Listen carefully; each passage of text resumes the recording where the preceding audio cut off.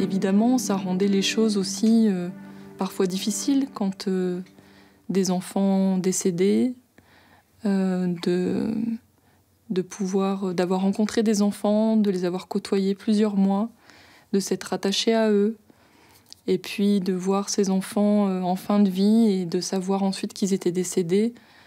Bah, bien sûr, c'est très dur à chaque fois.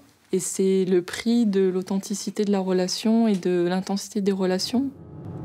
De par mon métier, psychologue, je me suis longtemps interrogée pendant toutes mes études sur euh, ma capacité que j'aurais à, ne pas euh, sombrer avec l'autre.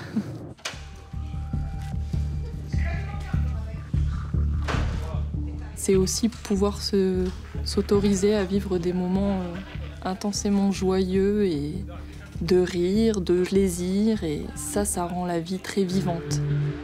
Et je crois que c'est ce qui peut-être me manquait avant d'être malade, en fait. C'était ce,